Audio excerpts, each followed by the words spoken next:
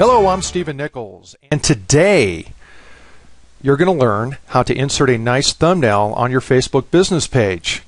I've been getting this question asked to me quite a bit lately, and so I'm going to go ahead and show you how to do it. First, we'll go to one of my Facebook business pages, and that's opvfirstpage.com. And as you can see, this is the question that I'm getting asked a lot. The picture up here looks great, but then the thumbnail doesn't look very good you can't see it.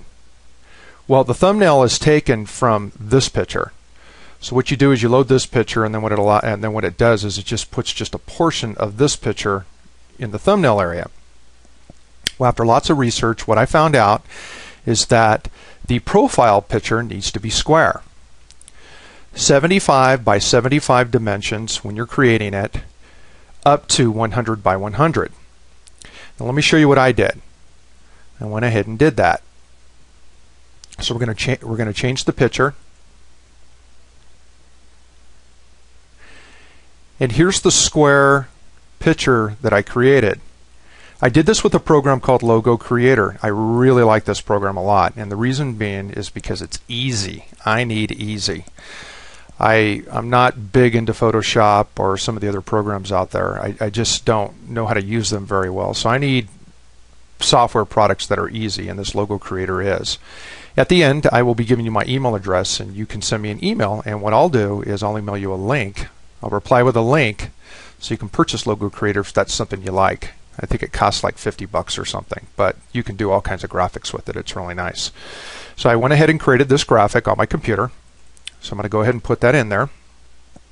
As you can see, it's square. We're going to make this the profile picture.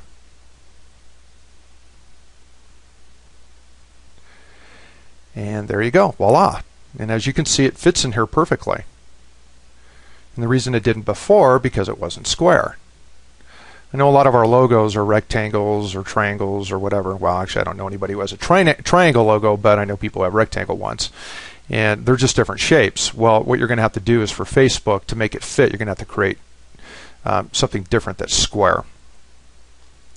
If, you, if you'd like to adjust the thumbnail, you go in here and edit thumbnail you can actually go in here and you can move it around. But actually this one looks pretty good, so I'm just going to leave it alone. There you go. Now let's go to another one of my business pages. And what I'm going to do is I'm going to show you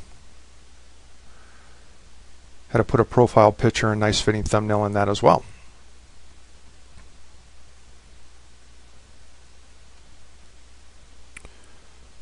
Called doctorstabletpc.com. This is the business page. So we're going to change the picture.